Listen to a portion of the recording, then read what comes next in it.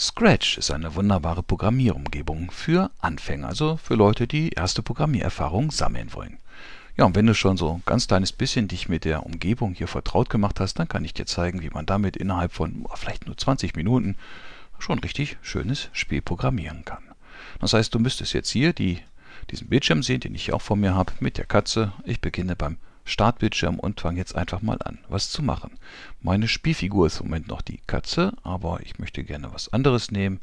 Sagen wir mal die Fledermaus dort. Die kann so schön flattern. Jetzt habe ich beide Figuren hier offen und brauche aber nur eine erstmal für den Anfang. Das heißt, die Katze gehe ich auf den Mülleimer, weg ist sie und ich habe nur die Fledermaus. Die soll sich auch nicht auf dem weißen Bildschirm bewegen, sondern einen schönen Hintergrund haben. Also klicke ich hier auf Hintergrund und scrolle mal ein bisschen durch, ob irgendwas Passendes dafür ist. Ja, dort dieser dunkle Wald, Woods. Und das Ganze sieht doch schon recht stimmig aus. Nachdem ich nun das Aussehen gestaltet habe, kann ich jetzt anfangen zu programmieren. Die Programme beginnen erstmal meistens mit der grünen Fahne und deswegen ziehe ich hier unter Steuerung, wenn die grüne Fahne angeklickt wird, dann geht das ganze Programm los. Zuerst lassen wir die Fledermaus vielleicht dorthin gehen, wo sie gerade ist. Ich finde ja auch ein bisschen groß vom Aussehen her, aber man kann die Größe verändern. Probieren wir mal 50% aus. Grüne Fahne. Ja, das sieht vernünftig aus. Ich glaube, das ist ganz gut zum Steuern. Ja, ich möchte die Fledermaus selber als, als Spieler steuern und dazu muss ich jetzt die ganze Zeit Scratch sagen, du musst jetzt Abfragen machen, was passiert, wenn ich zum Beispiel die Pfeiltaste nach oben, nach links, nach unten oder nach rechts drücke. Das heißt, ich baue hier eine Schleife ein, wiederhole fortlaufend. Und in diese Schleife kommt dann der erste Falls-Dann-Befehl, und zwar falls die Taste Pfeil nach oben gedrückt wird. Dann soll sich die Fledermaus auch nach oben bewegen. Ja, und hierfür habe ich jetzt äh, mehrere Möglichkeiten. Also ich könnte sagen, dreh dich nach oben und beweg dich dahin. Das würde aber auch bedeuten, dass die Fledermaus die ganze Zeit sich dreht. Aber die guckt gerade so richtig schön frontal auf mich in die Kamera. Das gefällt mir eigentlich auch. Deswegen möchte ich das auch beibehalten und ändere einfach nur die Y-Koordinate. Das heißt, ich wähle hier den Befehl aus, ändere Y um 10. Probiere ich mal aus. Drücke die Pfeiltaste nach oben. Ja, wunderbar. Ein bisschen zu schnell, denke ich. Also 10 ist vielleicht zu viel. Versuchen wir es mal mit 5. Ja, das ist eine angenehme Steuerung, damit kann ich arbeiten. Gut, die Fledermaus soll nicht nur nach oben, sondern auch nach unten. Das heißt jetzt das gleiche Spiel nochmal, wenn die Pfeiltaste nach unten gedrückt wird, dann ändere ich die y-Koordinate um minus 5. Dann brauchen wir auch noch eine Bewegung nach links, rechts. Damit ich jetzt nicht hier die ganze Zeit mit den Befehlen hin und her scrolle, machen wir mal beide gleichzeitig. Falls, falls. Falls Leertaste Pfeil nach rechts gedrückt wird und falls Leer Pfeil nach links gedrückt wird, und mache das gleiche Spiel hier mit den Bewegungen in der x-Koordinate. Pfeil nach rechts, x um plus 5, Pfeil nach links, ändere x um minus 5. So, ich probiere es mal aus, drücke auf den Pfeil und jawohl, ich kann mit den Pfeiltasten meine Spielfigur über das Feld steuern. Allerdings ähm, fliegt die nicht wirklich, sondern die gleitet noch hin und her. Aber das kann ich jetzt mit einem zweiten Programm ändern. Das heißt, ich fange nochmal ganz von vorne an. Wenn die grüne Fahne gedrückt wird, dann soll jetzt noch was anderes passieren. Und zwar soll die Fledermaus ihr Aussehen verändern. So verschieden aussehende Spielfiguren, das läuft unter Kostüme. Das heißt, ich gehe dorthin, wechsle zum nächsten Kostüm und dann warte ich vielleicht mal eine Sekunde und das Ganze eben auch in so einer Dauerschleife, damit die Fledermaus dauernd ihr Aussehen verändert. Ich klicke mal an und jetzt sehen wir alle Aussehensvarianten der Fledermaus hintereinander weg im Abstand von einer Sekunde. Das ist natürlich kein Flattern, aber vielleicht mal 0,2 Sekunden. Das ist besser. Naja, auch nicht ganz so gut. Es sieht noch so ein bisschen nach Yoga-Übung aus. Das gehört nicht alles zum Flattern. Ich gucke mir mal die Kostüme an. Das geht hier links. Okay, das sind insgesamt vier Kostüme und zum Flattern gehören wohl nur die ersten beiden, Bett A und Bett B. Das heißt, ich schmeiße den Befehl, wechsle zum nächsten Kostüm wieder raus und nehme stattdessen Wechsel zum Kostüm A, dann warte nochmal 0,2 Sekunden so, und dann wechsle zum Kostüm Bett B. So, wenn ich das jetzt mache, ja, dann flattert sie so richtig schön.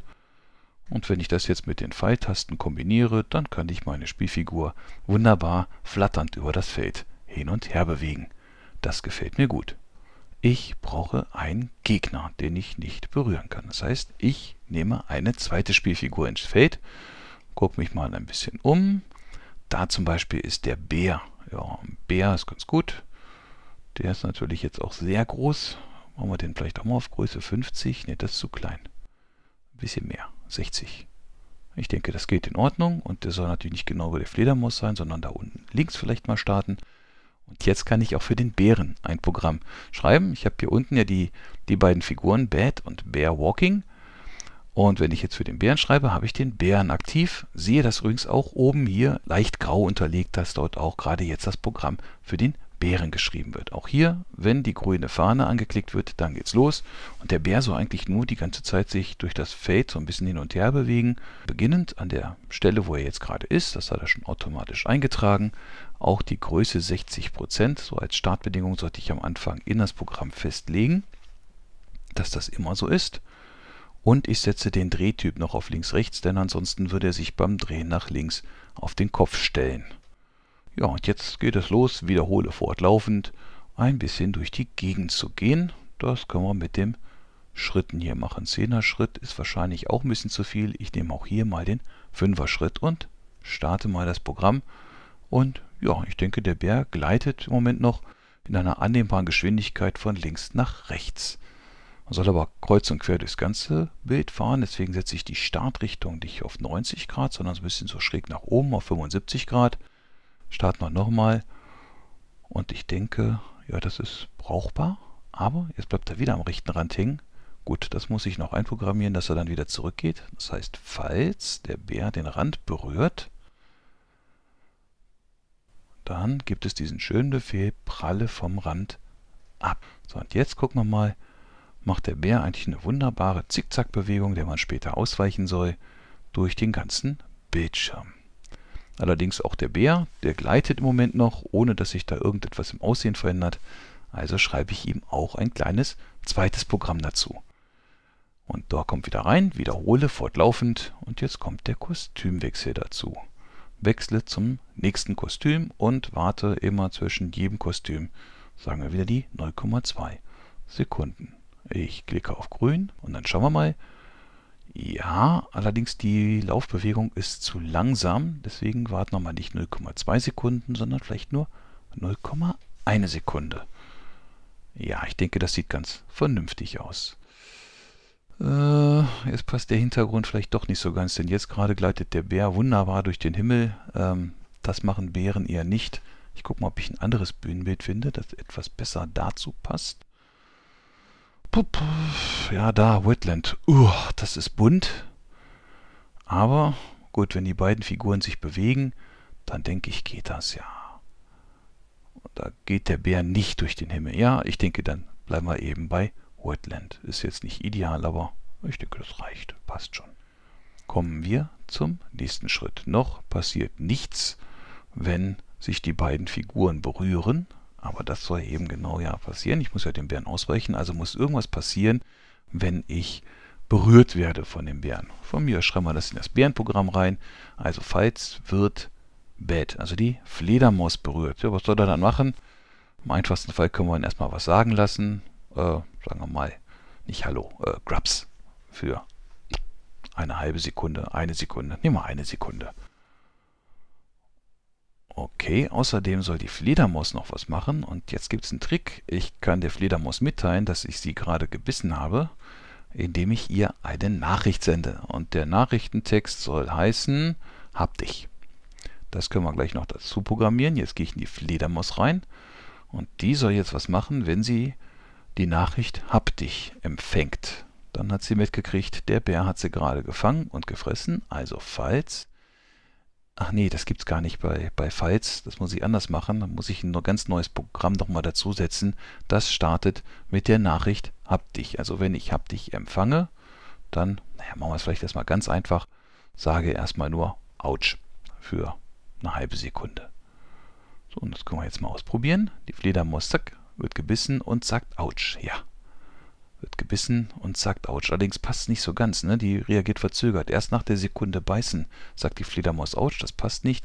Deswegen ändere ich hier die Reihenfolge, sende hab dich und dann erst die Grabs für eine Sekunde anzeigen. Das jetzt, ja, jetzt gefällt es besser. Grabs Autsch, das passt zusammen. Ja, und damit habe ich auch die Möglichkeit, ein Spielende zu programmieren. Die Fledermaus soll vielleicht maximal dreimal gebissen werden und dann ist das Spiel aus. Dazu definiere ich jetzt eine Variable, die die Anzahl der Leben meiner Fledermaus ist. Also nenne ich diese Variable Leben. Und die soll auch am Anfang gezeigt werden. Und ich brauche natürlich einen Startwert, setze die Anzahl der Leben am Anfang auf 3. Ich starte das Programm, Krabs Ouch, das passt weiterhin, aber die Anzahl der Leben ändert sich nicht. Das ist natürlich auch blöd, muss ich ja reinprogrammieren. Also wenn ich hab dich empfange, dann sagst du Ouch und ändere Leben um minus 1. So, Leben 2 passt Leben 1 und Leben 0. Und jetzt müsste das Spiel zu Ende sein. Aber das muss ich ja auch erst noch programmieren. Gerade am Anfang ist mir schon aufgefallen, das war ein bisschen doof. Der Bär hat sofort die Fledermaus gebissen. Erstmal ändere ich noch eine Kleinigkeit. Ich sage dazu, der Bär soll am Anfang da unten sein und nicht da vorne, dass die Fledermaus einen guten Start hat. Das ist ganz gut. Hier kann ich jetzt am Anfang mit der Fledermaus dem Bären ausweichen. Jetzt muss ich das Spielende programmieren. Wo kann ich das hin programmieren? Ja, die Bühne selber, die äh, kann auch ähm, Befehle empfangen Das heißt, ich kann hier rechts auf Bühne klicken. Dann sieht man auch hier das Bühnesymbol oben blass dargestellt. Und hier auch, wenn ich grün empfange, dann nehme ich das Bühnenbild, was ich jetzt habe. Oh, was ist denn da alles drin? Okay, ich habe eine ganze Menge Bühnenbilder, die ich gar nicht brauche. Die lösche ich mal alle weg. Mit Klick auf die Mülltonne und nehme jetzt meine Wetland-Bühnenbild, verdoppel das. Dann habe ich Wetland 2 und da kommt jetzt eine kleine Schrift rein. Oh, ja, schön halt irgendwas mit Game Over. So, Farbe, ja, auch wir Rot. Und tippen hier Game Over. Und das Ganze ein bisschen größer. Oh, so. Und jetzt habe ich zwei verschiedene Hintergrundbildschirme. Ein mit, eine ohne Game Over. Am Anfang soll der Hintergrundbildschirm ohne Game Over zu sehen sein. Und wenn ich keine Leben mehr über habe, also falls, jetzt muss ich hier so einen Operator nehmen, Leben gleich 0, dann sollst du bitte zum anderen Bühnenbild wechseln mit dem Game Over Bildschirm und dann kann ich alles anhalten für alle Figuren mit dem Befehl Stoppe alles. Das probiere ich mal aus. Ich flatter rums, Leben 2, Leben 1 und Leben 0 und jetzt müsste eigentlich, nee, kommt nicht. Ähm, hm, war zu schnell. Vielleicht bin ich zu schnell über das 0 hinausgelaufen oder es war nicht genau 0, manchmal sind es so 0,0001. Ich ändere mal den Operator. Es lieber, als falls Leben kleiner 1 ist. Also hier wieder die Variable rein. Leben kleiner 50, nee, kleiner 1. So, und jetzt müsste es aber funktionieren. Nochmal. Leben 2, Leben 1, Leben 0 und Game, kein Game Over. Verdammt! Minus 2, das gibt's doch. Ah, ich habe einen Fehler gemacht. Ich habe vergessen. Ähm, ich habe bloß ganz am Anfang einmal diese Abfrage gemacht, aber diese Abfrage, falls die Leben kleiner Null ist, die muss er ja die ganze Zeit machen. Das heißt, ich muss das noch in eine Wiederhole fortlaufend Schleife einbinden. Also einmal hier Wiederhole fortlaufend drumherum und nochmal ausprobieren. Leben 2, Leben 1, Leben 0, Game Over, alles endet. Ich habe ein Spielende programmiert. Prima. Ja gut, jetzt kann die Fledermaus die ganze Zeit den Bären ausweichen. Ist soweit okay, aber irgendwie muss er auch was machen. Also definiere ich jetzt noch eine dritte Figur, die sie fangen soll. Guck mal, da vorne der Apfel, der ist schön. Das heißt, jetzt kommt nochmal ein Apfel dazu, den die Fledermaus fressen soll. Das wären dann vielleicht die Punkte später, wenn sie dann dazu kriegt. Und auch für den Apfel schreibe ich ein kleines Programm. Wenn grün angeklickt wird, dann gehe zu einer Zufallsposition. Auch der Apfel ist mir ein bisschen zu groß. 75% reicht. Ja. Und brauche jetzt noch eine neue Variable für die Punkte, die man erreicht hat. Also Variable Punkte, die auch bitte gezeigt wird. Und am Anfang müssen die Punkte natürlich auf 0 gesetzt werden. So. Dann wiederhole fortlaufend, wenn ich von der Fledermaus berührt werde. Also falls wird Fledermaus berührt, dann äh, verstecke ich mich, also ich verschwinde, bin nicht mehr zu sehen. Ich gehe an eine neue Position Und vielleicht eine Sekunde später oder so zeige ich mich erst wieder, damit ich nicht sofort wieder da bin. Dort. Und natürlich muss ich auch noch die Punkte um 1 erhöhen. Nicht die Leben, sondern die Punkte. So. Und los geht das. Wann immer ich den Apfel fresse, kriege ich einen Punkt dazu. Und wann immer der Bär mich berührt, verliere ich ein Leben. Und nach dreimal beißen ist mein Spiel zu Ende. Ja, das sieht doch schon nach einem richtigen Spiel aus. Dann möchte ich noch gerne eine neue Nachricht haben für die Fledermaus, dass die das auch mitkriegt, dass sie den Apfel frisst. Wenn ich Apfel empfange, was mache ich dann? Da kann ich erstmal irgendwie wieder was sagen, so, haps, kurz. Ähm, oh, da war der Apfel gerade genau an der gleichen Stelle, das ändere ich gleich nochmal. Haps, dann können wir vielleicht auch nochmal was dazu machen, dass der Apfel am Anfang nicht genau da ist, wo die Fledermaus auch ist. Der erste Punkt soll nicht geschenkt werden. Packe ich den Apfel da oben hin für den Anfang. Haben alle ihre Startpositionen, die Fledermaus in der Mitte, der Bär rechts unten, der Apfel rechts oben, sodass das eben passt. Okay. Das Spiel funktioniert im Prinzip. Jetzt äh, kann ich es noch ein bisschen verbessern. Zum Beispiel, indem ich Sound einbaue. Etwa wenn ich den Apfel esse, hier gibt es einen, der ist Chomp. Naja, klingt nicht ganz so. Ich suche mal ein bisschen noch in den Effekten rum. Das Chomp gefällt mir nicht so ganz. Connect, ja, das klingt doch besser. So, das sieht immer so, jetzt habe ich gerade einen Punkt gemacht. Das heißt, immer wenn ich den Apfel habe, kriege ich diesen Connect Sound zu hören. Probieren wir es mal aus. Ah, gleich erstmal gewissen. Jawohl. Da habe ich dann den Apfel. Und schon klingt das Ganze auch immer noch mehr wie ein Spiel. Gut, auch wenn der Bär mich beißt, soll ein Geräusch zu hören sein. Gucken wir mal, was wir dort haben.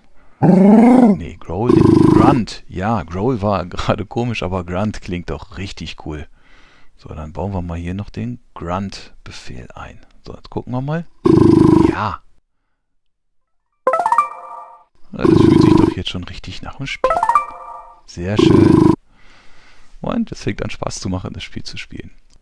Okay, jetzt brauche ich natürlich auch noch einen Sound, wenn das Spiel zu Ende ist. Was nehmen wir da?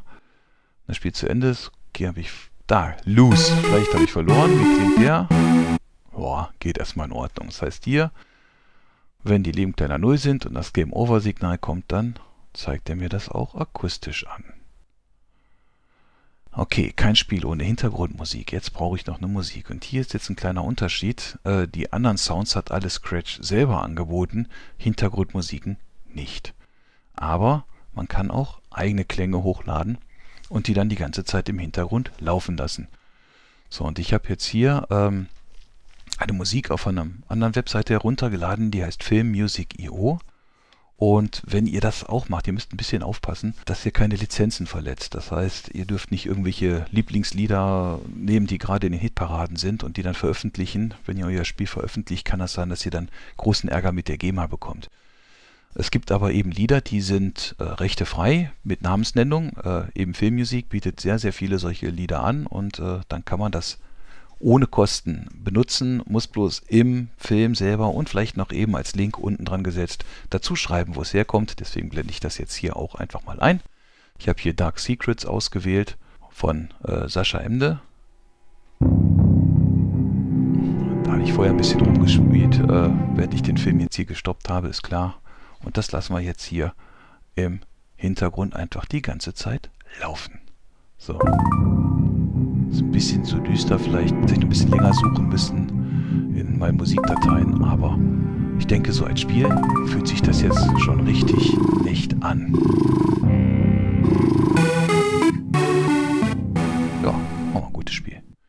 Eine Verbesserung können wir vielleicht noch hinbekommen, und zwar äh, du musst die Schwierigkeit richtig einstellen. Wenn du ein Spiel zu leicht machst, dann wird es äh, langweilig, weil du die ganze Zeit Erfolg hast. Wenn du ein Spiel zu schwierig machst, ist es zu frustrierend, dann funktioniert es auch nicht. Noch besser ist ein Spiel, das erst einfach anfängt und im Laufe des Spiels immer schwieriger wird. Das kann ich etwa hinkriegen, indem ich den Bären am Anfang ganz langsam laufen lasse und der im Laufe des Spiels immer schneller wird. So, wie bekomme ich das hin? Ich definiere noch eine Variable, die nenne ich Bärtempo oder Bärgeschwindigkeit. Und am Anfang ist die auf 0 und statt Bär-Temposchritte, äh, äh, statt 5er Schritte zu gehen, gehe ich nun Bär-Temposchritte. Und in der Schleife ändere ich die ganze Zeit das Bärtempo um 0,1. Das heißt, die Schrittweite von dem Bären wird immer größer und dann läuft er halt auch immer schneller. Und äh, wenn die Fledermaus berührt wird, dann geht das Leben runter und dann geht das Bärtempo erstmal wieder auf Null. Das probieren wir mal aus. Jawohl, dann nimmt der Bär aber verdammt schnell Geschwindigkeit auf. Aber zumindest vom Prinzip her funktioniert es. Also er ist am Anfang ganz langsam und wird dann immer schneller. Allerdings wird er viel zu schnell schneller. Das ändere ich gleich. Aber das Prinzip funktioniert. So, jetzt höre ich mal auf zu spielen und ändere nochmal das Bärtempo. Äh, die Bärtempo-Änderung, also 0,1 war zu viel. Nehmen wir 0,02. Nehmen wir eine Startgeschwindigkeit nach dem Beißen, dass es nicht zu langsam ist. Jetzt ist der Bär erst langsam und jetzt wird er allmählich immer schneller und es wird immer schwieriger an den Apfel zu kommen könnte es auch so programmieren, dass mit jedem Apfel, den man hat, der Bär schneller wird. Das wären Alternativen. Ah, gebissen worden. Alles klar. Und jetzt geht der Bär wieder langsam, wird langsam wieder schneller. Ja, das macht doch richtig Spaß. Das ist ein schönes Spiel. So. Na, einen Apfel kriege ich noch. Okay, wenn ich hier noch ein bisschen spiele, könnt ihr euch mal selber ausprobieren. Ich wünsche euch viel Spaß bei euren Programmierenübungen und verabschiede mich bis dahin. Macht's gut und auf Wiedersehen.